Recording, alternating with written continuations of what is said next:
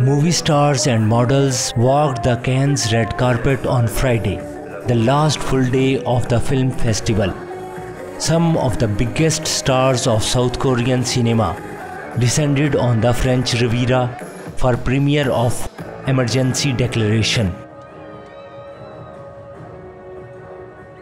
In the film Song Kang-ho, who starred in Parasite, plays a police detective who is tipped off about a terrorist attack on a plane. Emergency Declaration is screening out of competition at the Cannes Film Festival. British actress Gemma Chan, model Liya Kebede, and her daughter Raee were among the celebrities making an appearance on the red carpet on Friday.